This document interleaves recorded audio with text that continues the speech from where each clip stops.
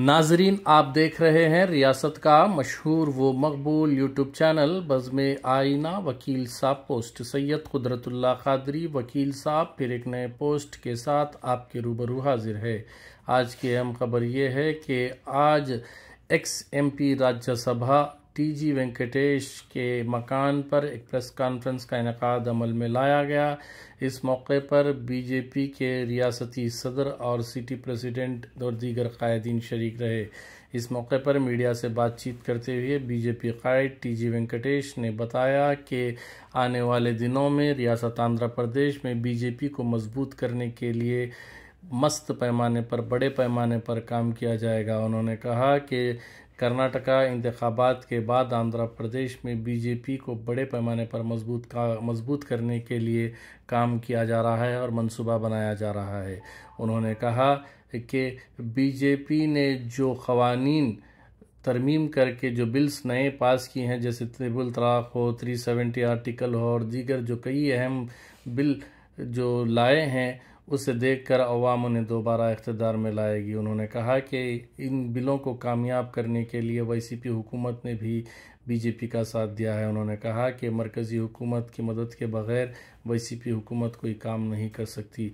इस मौके पर टीजी वेंकटेश ने कहा कि आने वाले दिनों में करनूल में भी बीजेपी को बड़े पैमाने पर मज़बूत किया जाएगा और यकीनन कामयाबी की तरफ़ बीजेपी रागिब होगी। उन्होंने कहा कि बीजेपी आने वाले दिनों में बहुत बड़ी पार्टी बनकर उभरेगी आप देखिए खसूसी रिपोर्ट सैयद कुदरतुल्ला खादरी वकील साहब को दीजिए इजाज़त अगर आप हमारे चैनल को अब तक सब्सक्राइब नहीं किए हैं तो ज़रूर सब्सक्राइब करें लाइक करें शेयर करें कमेंट करें बेल बटन दबाना ना भूलें ताकि लेटेस्ट वीडियोस आप तक बआसानी से दस्तियाब हो सके ఇదే రాజకీయాల నాయకుల ముఖ్య ఉద్దేశంగా అందుకు ఆ ప్రయత్నం చేసే దాంట్లో పరుగులు తీస్తుంటారు. ఈ పరుగులు తీసే దాంట్లో ప్రజలు నంబర్ వన్ పార్టీకి ఎలా నంబర్ టూ పార్టీకి ఎలా అనే రెండే పార్టీలు చూస్తూ ఉంటాయి. మూడో పార్టీని కూడా చూడరు వాళ్ళు. మనం ఎక్కడైనా మనం సినిమాలు చూసేకపోతాం అనుకోండి ఈ సినిమా బాగుంది ఆ సినిమా బాగుంది అంటారు.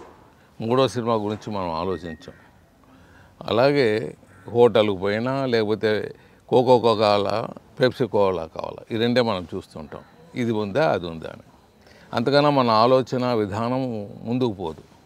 ఈ ఆలోచన విధానంలో బీజేపీ పార్టీ కొద్దిగా దెబ్బతింటా ఉన్నది. ఓట్ల విషయంలో. మోదీ గారికి బీజేపీ పార్టీకి ఎనలేని అభిమానాలు ప్రజల్లో ఉన్న దాన్ని ఓటింగ్ ప్యాటర్న్లో మేము క్యాచ్ చేయలేకపోతున్నాం. సో అది ఎలా క్యాచ్ చేయాలని ఢిల్లీ పెద్దలు ముందుకు వెళ్తున్నారు. ఈ కర్ణాటక ఎలక్షన్స్ అయ్యేదే దీని మీద ఎక్కువ కాన్సన్ట్రేట్ చేస్తారు. మనం మొదటి లైన్లో ఉన్నాము రెండో లైన్లో ఉన్నాము.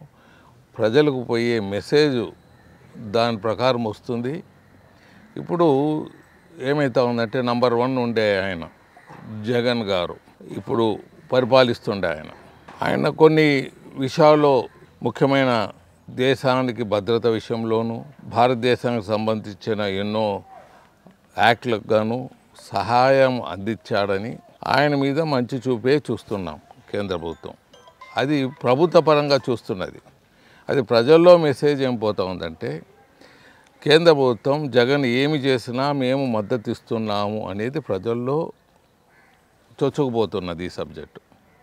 సో దాన్ని కూడా కేంద్ర నాయకత్వం ఎలా పబ్లిక్లో మేము తీసుకోపోవాలి? మనం చేస్తున్న సంక్షేమ కార్యక్రమాలు రాష్ట్రంలో మేము ఇచ్చిన సంక్షేమ కార్యక్రమాల్ని ఇప్పుడున్న ప్రభుత్వం ప్రజల దృష్టికి వారు చేస్తున్నట్లు పోతున్నట్ల వారు వారు వారు మాత్రం రాష్ట్రానికి సంబంధించిన నిధులు అప్పులు అన్నీ అనవసరమైన దాంట్లో ఖర్చులు పెడుతూ ముందుకు పోతూ కేంద్ర ప్రభుత్వం ఇచ్చిన డబ్బుల్ని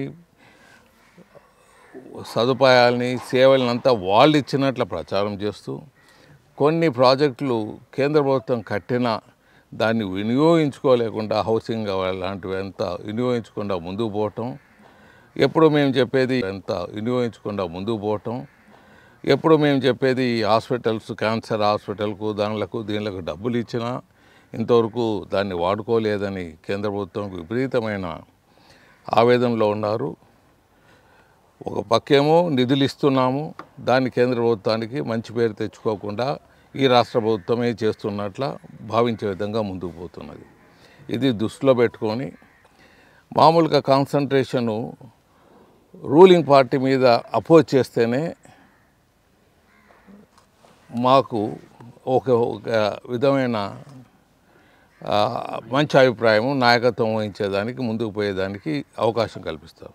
సో అదంతా కేంద్ర ప్రభుత్వంలో ఉండే నాయకులు దీని అంతను సీరియస్గా తీసుకున్నారు. కర్ణాటక ఎలక్షన్ అయినాక మరి ఎలా మనం పోయి ఈ ఈ ప్రాంతాన్ని బీజేపీ పరిపాలన కింద తీసుకొని వచ్చి ప్రజలకు ఎక్కువ శాతంలో సహాయ సహకారాలు అందించాలనే దిశలో ముందుకు పోయే మార్గాన్ని ఆలోచించి తప్పకుండా ఈ కర్ణాటక ఎలక్షన్స్ అయితే మీరు you can able to see big అజెండాతో. మేధావులు మరి తెలివైన వారు విద్యావంతులు కిరణకుమార్ కిరణ్ కుమార్ రెడ్డి గారు. పరిపాలన మీకు తెలిసే ఉంటుంది. నేను కూడా ఆయన దాంట్లో మంత్రివర్గంలో ఉన్నాను. ఎలా ఉండేదంటే అప్పుడు కాంట్రాక్టర్ బిల్లు వాడు ఎవరు పాలిటీషియన్ దగ్గర పోయే పని లేదు. నెట్లో కాంట్రాక్టర్ బిల్లు వాడు ఇమీడియట్గా ప్లేస్ చేయాలి. వానికి వన్ వీక్ లోపల డబ్బులు పోవాలి. ఎన్ని కోట్లైనా సరే. అదంతా త్రూ ఒక తూరు వెరిఫై అయిపోయితే దాంట్లో బిల్ పెట్టాలి. ఇలాంటి సంస్కృతిని తీసుకొని వచ్చారు అలాగే మేము మేమున్నప్పుడు. మరి ఎన్నో ఇరిగేషన్ ప్రాజెక్టులు టేకప్ చేశాము. లిఫ్ట్ ఇరిగేషన్లు అని అవి ఇవన్నీ అన్నిటికీ సహాయ సహకారాలు అందించారు అలాంటి మేధావి ముఖ్యమంత్రి గారు ఇప్పుడు మా పార్టీలో చేరుతున్న చేరారంటే మీరు అర్థం చేసుకోవచ్చు. ఈ పార్టీ మీద ఉన్న భరోసా ఈ పార్టీ మీద ఉండే నాయకత్వం మీద వారికి నాకు నమ్మకం ఉంటేనే వస్తారు అధికారం కోసమో లేకపోతే దేనికో రాలేదు. ఇప్పుడు ఉన్న పరిస్థితుల్లో దేశానికి మేలు చేసే పార్టీ ఇది ఒక్కటే అని కన్నకుమార్ రెడ్డి గారు పార్టీలో చేరామని ఆయన చెప్పారు మేమంతా చెప్తున్నాం. అలాంటి వాళ్ళు మన పార్టీలో వస్తున్నారంటే మీరు అర్థం చేసుకొని ప్రజలు కూడా దగ్గరికి పార్టీకి వచ్చి పార్టీ చెంత నుండి అధికారం వచ్చేదానికి అవకాశం కల్పించాలని కోరుతున్నాం. ఈ రాష్ట్రంలో తెలంగాణ ముఖ్యమంత్రి ఆంధ్రప్రదేశ్లో రాజకీయాలను ఒక అజెండా ఫిక్స్ చేసుకొని తెలంగాణ ముఖ్యమంత్రి కేసీఆర్ గారి అజెండాను ఆంధ్రప్రదేశ్లో అమలు చేయడానికి కొంతమంది తయారయ్యారు. కేసీఆర్ గారి యొక్క తెలంగాణలో ఉన్నటువంటి ప్రగతి భవన ఆదేశాల మేరకు ఆంధ్రప్రదేశ్లో ఈరోజు కొంతమంది అజెండా మోయడం అనేటువంటిది ఐదు కోట్ల మంది ఆంధ్రులను అవమానించడం అనే విషయాన్ని నేను గుర్తు చేస్తున్నా. ఎవరి అజెండా మోస్తున్నారు? ఈరోజు ఒక లేని సమస్యను సృష్టించి విశాఖ ఉక్కును అమ్మేస్తున్నారని ఒక దుష్ప్రచారం చేసి విశాఖ ఉక్కును ఎట్లా బతికించాలని చెప్పి ఒకవైపు కేంద్ర ప్రభుత్వము కేంద్ర మంత్రులు ఉక్కు శాఖ మంత్రులు ఆంధ్రప్రదేశ్లోకి వచ్చి విశాఖలో పర్యటించి వివరాలు కనుక్కుంటుంటే ఈరోజు దున్నపోతు ఈదిందంటే ఘాటి కట్టేండన్న చందంగా ముడి సరుకుకు పెట్టుబడులు సేకరిస్తుంటే. విశాఖ ఉక్కు పరిశ్రమలో ఒక మూతబడినటువంటి బ్లాక్ ఏదైతే ఉందో ఆ యొక్క స్టీల్ ప్లాంట్లో ఉన్నటువంటి బ్లాక్ ఫర్నేస్ త్రీని ప్రారంభం చేసి ప్రారంభం చేసి దాన్ని ఉక్కు పరిశ్రమను కాపాడదాము దానికోసం పెట్టుబడులు సమీకరిస్తామంటే దాన్ని అర్థం చేసుకోకుండా ఉదయం లేచినప్పటి నుంచి ఉక్కు పరిశ్రమ అమ్మేస్తున్నారు ఉక్కు పరిశ్రమ అమ్మేస్తున్నారని ప్రచారం చేసి దాన్ని కేసీఆర్ కొనేస్తున్నాడు కేసీఆర్ కొనేస్తున్నాడు అని చెప్పి వీళ్ళే ప్రచారం చేస్తున్నారు. నేను అడుగుతున్న కేసీఆర్ ఈ మధ్య మాట్లాడుతున్నాడు. ఒక జాతీయ స్థాయిలో ప్రముఖ సీనియర్ జర్నలిస్టు రాజ్దీప్ సర్దేశాయి ఒక విషయం చెప్పాడు. రెండు వేల ఇరవై నాలుగు ఎన్నికలకు భారతదేశం మొత్తం బీజేపీతర పార్టీలకు నన్ను జాతీయ స్థాయిలో టీఆర్ఎస్ పార్టీకి కన్వీనర్ చేస్తే మొత్తం ఎన్నికల ఖర్చు నేను భరిస్తానని చెప్పి నాకు చెప్పాడని చెప్పి చెప్పాడు. అదే కేసీఆర్ ఒకటి చెప్పాడు. ఆంధ్రా వాళ్ళు ఏముంది? మనం ఏదో వేసే చిల్లర్లకు మనం ఏమి ఇస్తే అది తీసుకొని ఆ విశాఖలో అరుస్తారు. మనం ఏం మాట్లాడమంటే అది మాట్లాడతారు. వాళ్ళు బతికేది తెలంగాణలో కదా. పొద్దున్నే విమానంలో పోతారు. విశాఖపట్నంలో స్టేట్మెంట్ ఇస్తారు.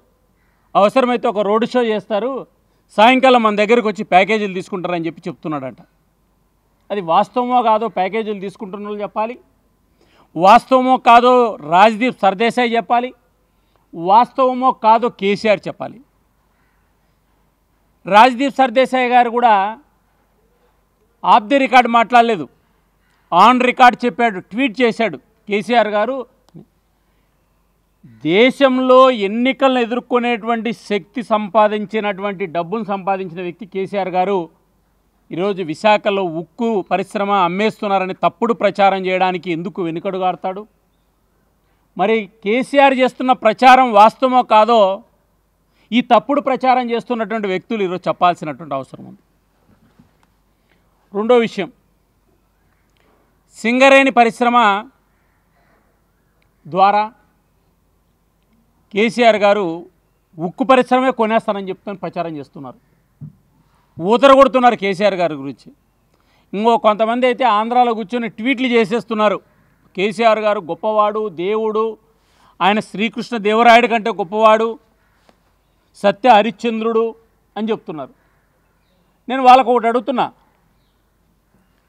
మీకు నిజాయితీ ఉంటే రాష్ట్ర విభజన సందర్భంగా తెలంగాణలో ఉన్న ఆస్తులు ఆంధ్రాలో ఉన్న ఆస్తులు యాభై శాతం యాభై ఎనిమిది శాతం ఆంధ్రప్రదేశ్కు నలభై రెండు శాతం తెలంగాణకు జనాభా ప్రాతిపదికన మనం పంచుకున్నాం. నీళ్ళు కూడా అట్లే పంచుకున్నాం. ఆస్తులు పంచుకున్నాం అప్పులు కూడా పంచుకున్నాం. నేను ఇలా అడుగుతున్నా విశాఖ ఉక్కు మీద తప్పుడు ప్రచారం చేసి ఉనికి కోసము అక్కడ ఏదో ఎంపీలుగా గెలిచేద్దాం అనేటువంటి ఆలోచన ఉన్న కొంతమంది కేసీఆర్ని ఎందుకు అడగరయ్యా ఆయన ఇప్పుడు కొనుగోలు చేస్తానని చెప్పి మీరు ప్రచారం చేస్తున్నటువంటి సింగరేణి యాభై ఒక్క శాతం ఉమ్మడి ఆంధ్రప్రదేశ్లో భాగస్వామి నలభై తొమ్మిది శాతం కేంద్ర ప్రభుత్వం వాటా. యాభై తొమ్మిది శాతం వాటాలో యాభై తొమ్మిది శాతం వాటాలో ఆంధ్రప్రదేశ్ ప్రజలకు రావాల్సినటువంటిది ఆ యాభై ఒకటిలో యాభై ఎనిమిది శాతం ఆంధ్రాకి రావాలి నలభై రెండు శాతం తెలంగాణకు రావాలి. మరి ఎందుకు అడగట్లే? ఇచ్చారా వాటా? తెలంగాణ సింగరేణిలో వాటా ఇచ్చారా అని అడుగుతున్నా నేను విశాఖపట్నంలో. మాట్లాడుతున్న నాయకులందరికీ కేసీఆర్ పంపించేటువంటి వాట్సాప్ యూనివర్సిటీల్లో ప్రెస్ ముందర మాట్లాడుతున్నటువంటి నాయకులకు నేను అడుగుతున్నా తెలంగాణ జెండా అజెండాను భుజాల మీద మోసుకొని విశాఖ వీధుల్లో ఊరేగుతున్నటువంటి కేసీఆర్ తొత్తులు కడుగుతున్నా ఎందుకు అడగరాయా నీటి కేటాయింపులు. ఈరోజు ఆంధ్రప్రదేశ్లో నీటి కేటాయింపులకు సంబంధించినటువంటి దాంట్లో కృష్ణా జలాలు అరవై నాలుగు శాతం మనకు ముప్పై ఆరు శాతం తెలంగాణకు. అంటే దాదాపుగా ఆరు వందల యాభై టీఎంసీలు ఆంధ్రప్రదేశ్కు మూడు వందల యాభై టీఎంసీలు తెలంగాణకు. మరి ఈ రోజుకే నాలుగు వందల ఇరవై టీఎంసీలు కృష్ణా జలాలు అడ్డగోలుగా దోచేస్తాడే కేసీఆర్. మరి డెబ్బై టీఎంసీలు ఆంధ్ర నోట్లో మట్టి కొట్టాడే. మరి విశాఖలో ఊరేగుతున్నటువంటి వాళ్ళు మీరు అడగరా? ఎందుకు అడగరు? రాయలసీమకు సంబంధించినటువంటి తాగునీటి ప్రాజెక్టులను రాయలసీమలో ఉన్నటువంటి కోట్ల మంది ప్రజల గొంతు ఎండిపోతుంటే వాళ్ళ నోర్లు కొట్టి సుప్రీంకోర్టులో కేసులే ఇచ్చి జల కేంద్ర జల సంఘం దగ్గర ఫిర్యాదులు చేయించి గ్రీన్ ట్రిబ్యునల్లో ఫిర్యాదులు ఇచ్చి టెండర్లు కానీయకుండా రాయలసీమకు ద్రోహం చేసినటువంటి రాయలసీమ ఆంధ్రప్రదేశ్ ద్రోహి కేసీఆర్ భుజాలను కేసీఆర్ మోచేతుల కింద మీరు నీళ్ళు తాగుతారా? మీ ఆర్థిక ప్రయోజనాల కోసం మీ ఎంపీ టికెట్ల కోసం మీరు రాజ్యసభ కేసీఆర్ వేసేటువంటి బిస్కెట్ల కోసం మీ హైదరాబాద్లో ఆస్తులు కాపాడడం కోసం మీ హైదరాబాద్లో రియల్ ఎస్టేట్ సొమ్ముల కోసం ఆంధ్రప్రదేశ్లో కోట్ల మందిని ఎందుకు అవమానిస్తున్నారో నేను అడుగుతున్నాను